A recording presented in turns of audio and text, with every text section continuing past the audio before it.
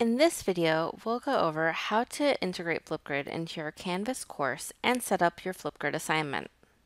So first, you're going to want to start from the Flipgrid side and go into integrations on the top right hand corner and then add new integration. And just title it something that is recognizable to you so you can link this integration to that specific course that you're integrating uh, Flipgrid with.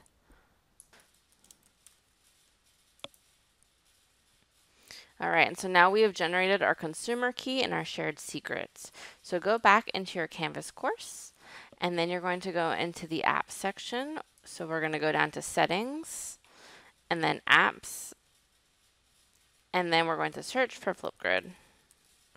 And we're going to add the app. And now it's going to ask us for a consumer key and our shared secret. So we can just go ahead and copy those and paste.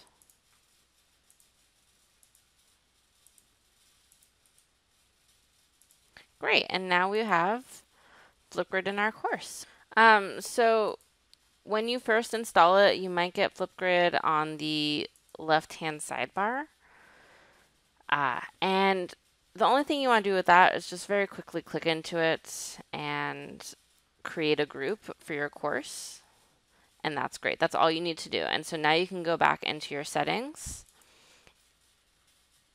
and just move it down so where are we with our Flipgrid account? All right, so just move it down. Um, you don't want students accessing it there. You just want them to access it through the assignments. So now we're going to go into assignments and we're going to set up our first Flipgrid assignment. So go into the plus assignment button and you can title it uh, Flipgrid discussion or whatever you would like to title your assignment. And then just scroll down, add some points, and uh, the submission type is where you're going to select from the drop-down menu and say external tool. And then we're going to find the external tool and it's going to be Flipgrid, so it'll be down by the F's.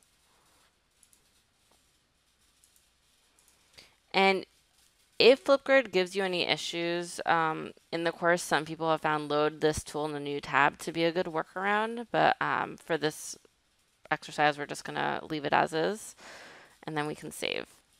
And so now the Flipgrid assignment has been created. And so here you can click on the edit button and um, call it whatever you would like. Uh, you can add your instructions here.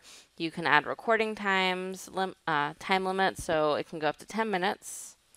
And you can also uh, determine what the closed captions will, what language the closed captions will generate from.